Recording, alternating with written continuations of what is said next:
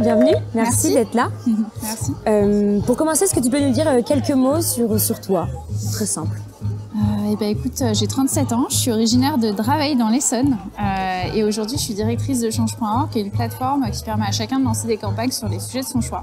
Et puis euh, je milite un peu ici et là dans plein d'initiatives dont le fil conducteur c'est toujours comment est-ce qu'on peut aider les gens à prendre conscience du pouvoir qu'ils détiennent et à l'utiliser pour changer le monde.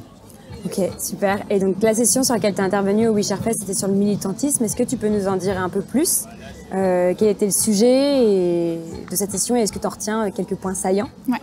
En fait, notre idée, c'était euh, comment est-ce qu'on milite aujourd'hui? Est-ce que euh, finalement les référentiels d'avant, ils fonctionnent toujours? Et ce qu'on a vu, c'est qu'il y a des choses qui ont vraiment évolué.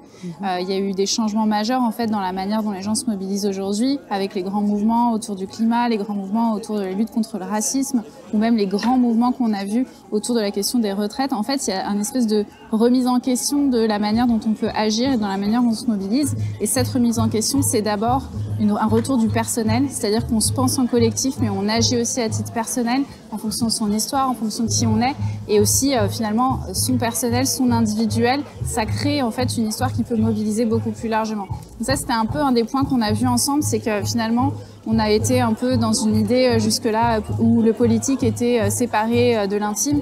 En fait, on voit comment l'intime, ça devient un outil vraiment de mobilisation.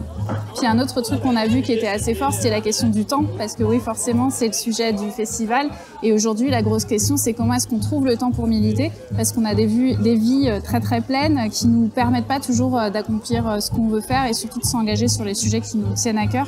Et donc, on a exploré comment finalement militer au sein même de son travail, en tant que devenir un salarié activiste, par exemple, dans son entreprise sur la question des violences sexuelles, pour donner un exemple, ou alors euh, comment est-ce qu'on peut euh, bah, décider de prendre du temps euh, de décider de travailler moins si on en a la possibilité pour prendre du temps pour monter des organisations qui permettent d'agir efficacement. Et en fait, ce qu'on s'est dit à la fin, c'est que finalement, on n'a pas beaucoup de temps, on a des enjeux qui sont importants et donc la seule solution, c'est d'être plus nombreux pour pouvoir se partager le taf. Ok, donc c'est une vraie invitation pour les participants du coup aussi à se mobiliser. Ouais, absolument. En fait, je pense que c'est ça, de toute façon, l'idée du festival. Attends, il y a mes copines qui me foutent de Ah Oui, donc forcément, ici, on est là tous, on se dit, il faut changer le monde, il faut qu'on fasse des choses. Donc, la question, c'était comment est-ce qu'on saisit cette opportunité pour questionner nos méthodes euh, d'ac- d'action, d'engagement, et aussi comment on emmène plus de gens autour de nous. Je pense que c'est aussi dans l'ADN de WeShare, c'est euh, on reste pas entre nous, on partage, on essaie d'amener plus de personnes avec nous.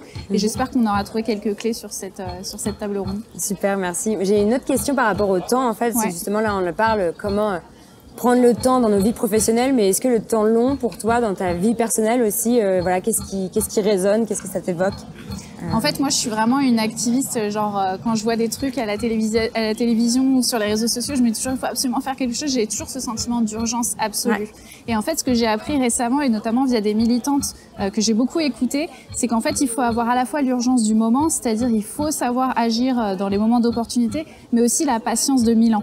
Et en fait, ce que ça veut dire, la patience de Milan, c'est d'être, de concevoir qu'on est ici, on est un, un maillon de la chaîne et on, est, on peut faire des choses aujourd'hui parce qu'il y a eu des gens avant nous qui nous ont permis d'être là où on est, mais aussi nous, on doit ouvrir la voie pour les personnes après nous. Parce qu'en fait, euh, la lutte pour la liberté, eh ben, c'est une histoire de l'humanité, ça s'arrêtera jamais et il faut toujours qu'on, qu'on soit mobilisé, mais qu'on accepte aussi qu'on fait partie euh, d'une histoire plus large que nous. Super. Est-ce que tu as un dernier mot à passer pour euh, les participants du WeShare Fest? Bah juste euh, bravo, continuez à vous mobiliser et surtout euh, allez chercher la personne euh, que qui est par exemple qui habite à côté de chez vous, votre collègue et la prochaine fois ramenez-la. Comme ça on est sûr qu'on a grandi le cercle. Merci beaucoup, Sarah. Merci.